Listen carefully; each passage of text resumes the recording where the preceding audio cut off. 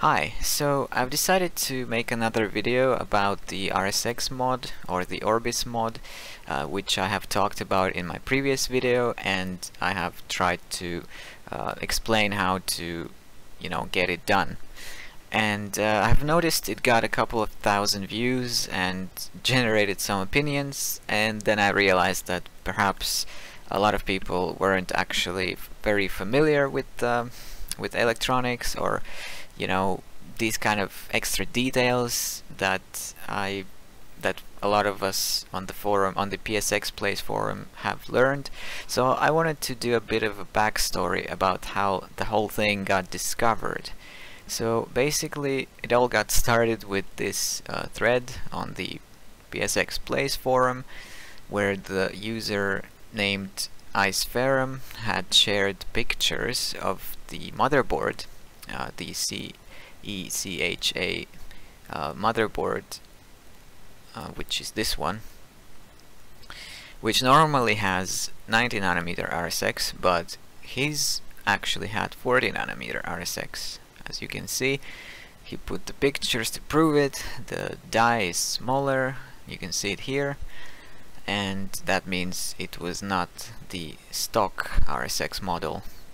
So um, he was already suspecting it was refurbished by possibly official Sony service center as he wrote in here. And later it actually was confirmed that it was in fact uh, repaired by the official Sony service center and that uh, they have it, it, turned out they have been doing these kind of repairs uh, for some time. And I guess you know a lot of people had no clue but um, the whole thing started with the fact that this board um, was discovered and um, the people in this thread have realized that this is possible. You know, the community got curious about how this could be replicated. Um, I joined this thread at around seven pages and um, at the time we were just basically analyzing the board and trying to see what other mo modifications were necessary in order to do this kind of mod ourselves. And it turned out that there were quite a few more components that were also that needed to be either replaced or modified. And the second most important component after this GPU chip that was uh, replaced as well was the Syscon chip. And if you go to this page, uh, this is meant for developers, but you know, I'm just gonna try to explain the basics here. So the Syscon chip is the main power controller chip, as you can see here. It's explained very well, uh, and uh, it's basically very important chip, like the most important probably on the whole motherboard, because it controls voltages and just allows the communication happen between different components. In any case, if you go here, you can see all the Syscon variants right here that were used on the FAT uh, PS3 models.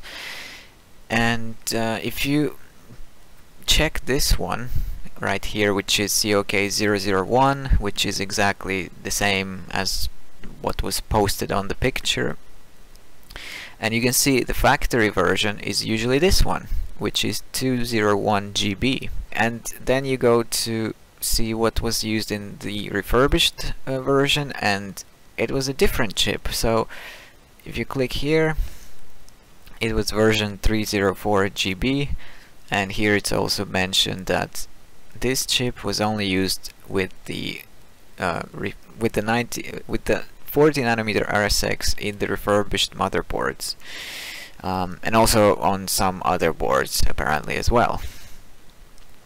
Uh, if you also go to check the COK002 motherboard, which was also refurbished sometimes, um, you will also see that the factory variant was 202 and then re the refurbished variant was 303 and that for that board they have used this model to install a 65 nanometer RSX so yeah different uh, RSX versions had required different Syscon variants sometimes. Right. Um, I hope this made some kind of sense. But as you can see, there were other even other boards that were also refurbished. Like this one, DIA001. Um, it also used this 304 GB Syscon. It was mentioned here. I've already shown it, but yeah, it also sometimes they have sometimes replaced uh, RSX even on that one. So they were basically repla replacing a lot of these 90 nanometer GPU chips, and um, you know, kind of makes you wonder why. They probably knew something. They probably had a reason to replace them. Like maybe they didn't have the 90 nanometer ones left, or maybe they knew that the 90 nanometer one was just not as reliable, right? But this is just one of the clues I think that is important to notice uh, about the reasoning behind the mod. In any case, um, the Syscon chip was replaced, but then there were of course more modifications that were done. So as this thread kept getting more and more attention, eventually somebody from Indonesia had posted a link to another example of how a motherboard could be modified in order to allow installation of 40 nanometer RSX. So after that we eventually got in touch with the person who had apparently been doing these kind of mods for a long time and he knew about it even a long time before. He had studied all these refurbished motherboards himself and basically he had come up with an easier way to allow to, to install the 40 nanometer RSX and this is where the mod chip came from and I wanted to show you this picture also here and as you can see, the first step that Sony is doing is they swap the old Syscon with the new one, the one that can hold more data, and um, obviously they also modify the code for it to support the new RSX. So um, this part is also possible to replicate, but it hasn't been tested thoroughly yet, and so this is something I am not gonna go into details about uh, because like I say it needs to be tested first and it's something that is a lot more complicated than just putting the Orbis mod in because you actually need to program the new Syscon and you would need to use Bus Pirate for it. So yeah, this is basically the more complex version and it still needs to be tested. The second step they do is they reconfigure the flex input output voltage by replacing the voltage regulator IC. And actually this is something I can show you now in a bit more detail. This step 2 is this one and you can see here this is the chip BD3520 and uh, this is something they replace with BD3504 the difference between them is that this one the stock chip it constantly provides 1.2 volts so uh, it doesn't have configurable output.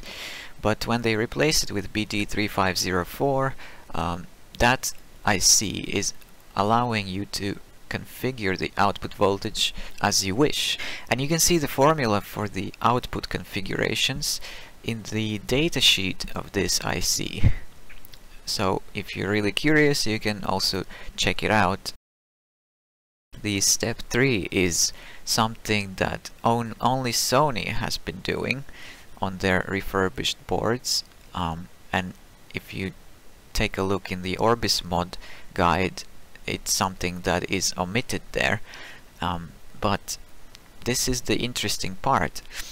Sony has done this additional step basically and they reconfigured the power good signal thresholds for both RSX and cell.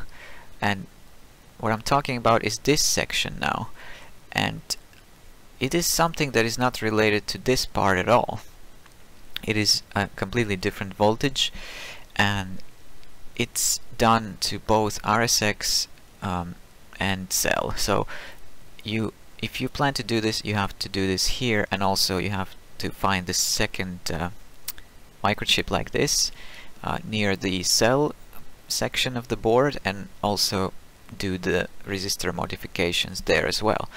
Uh, and why do you need to do this? Well, this is something that I think was explained quite well on the PSX um, forum. And um, this user under the name RIP-Felix he's been insanely helpful. He has studied the schematics and the uh, logic behind the engineering um, the electrical engineering. He has done an enormous amount of work to research how you know the how everything works on the motherboard. So I'm just gonna show you the important the most important part. You can of course read it all later on your own if you want. But um, he tried to explain uh, what this might do. And it it's basically something that could increase stability. And here he talks about this part. Um, the new low voltage threshold is now twice as low, allowing much more voltage ripple before it triggers an error. And what he thinks is they did it to reduce the frequency of the some of these errors 0 1 point, uh, 1001 and 1002 and those are the errors that are currently associated with NEC TOKINs. And he also talks about how the lower, lower voltage threshold is there to prevent system instability.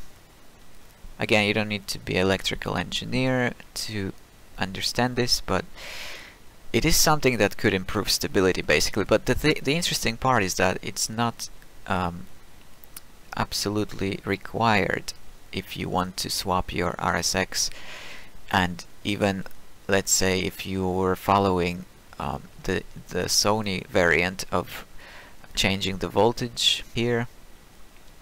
And let's say you don't want to change anything here um, it would still work but um, this there's no way of knowing really how much it will affect the stability of the system. So I think it's recommended to do it to do all of these steps uh, uh the way that Sony was doing it. Uh, and step 4 is basically the same thing as I've talked about uh, in my first video. It's just changing the 10k uh, resistor into the diagonal position and adding a 47k resistor when necessary. Anyway, if you take a look at the Orbis mod installation guide, you can see that is it is already a lot simpler in a way.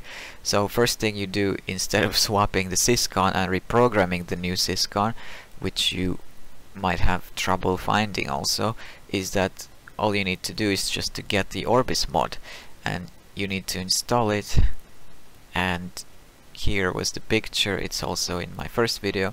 I only showed it for COK boards at the time and this is also COK board. And uh, you can see it's kind of simpler basically. It's also cheaper I think to buy this thing this little mod chip. Uh, the second thing is again it is something he has made easier to achieve. Like, it is the same idea as the step 2 in case of Sony version, but it is um, accomplished differently. So, what what he's doing here is he replaces the MOSFET that was here with another IC, and that IC can provide 0.95 by default. And uh, this is something I can also show you here. And this IC BD3520, it's a MOSFET driver IC, uh, which drives this MOSFET and uh, then that's how you get 1.2 volts going into RSX. But uh, what we do is just we just replace the this MOSFET and install our own part from the slim board which combines both the driver and the MOSFET so that new part uh, is inserted here instead of the MOSFET and it ignores this component completely I think or at least partly and it just does its own thing. It's basically outputting its own voltage, which is 0.95. So that's how we are tricking the original design and we in a way we kind of hack it. And I think it's quite ingenious that uh, this guy had come up with it as well. Like he's amazing at this kind of thinking. And he didn't even have any schematics available to him. He just kind of uh, analyzed it on his own. That must have taken some work um, but yeah this seems to be a simpler way to accomplish the same result and um, I don't know if it's like accurate in terms of in terms of electrical engineering standpoint but it works and he claims that there were no complaints and the consoles worked. Uh, but of course it's up to you which way you want to follow and of course it's probably recommended to do it the official way the Sony way. Um, the reason he came up with this is because like I said he's running a business and he needed to come up with the most uh, efficient way to do this to get the boards to work. And uh, it also had to be simple enough you know if you think about uh, replacing or adding all these extra resistors it is actually quite a bit more work than just swapping one IC with another. Um, and the same thing uh, for the Syscon, I don't think they had access to it or they couldn't read the contents of it, so they just came up with this mod and um, it's all it's pretty genius actually. It just injects the code into the communication line between the Syscon and RSX, and it's trying to fool the Syscon that uh, the RSX that is installed on the board is still the original 90 nanometer version. So this is actually all it's doing. We couldn't read the contents of it, it's password protected for obvious reasons, but I think it's pretty genius.